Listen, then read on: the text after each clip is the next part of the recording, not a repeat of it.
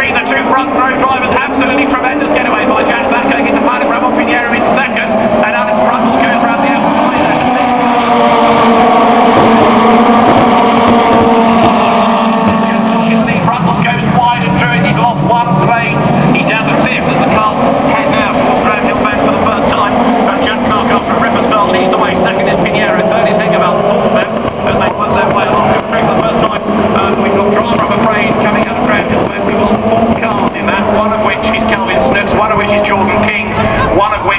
Like being Benjamin Lariche. And I think Mihai Marinescu may be the other.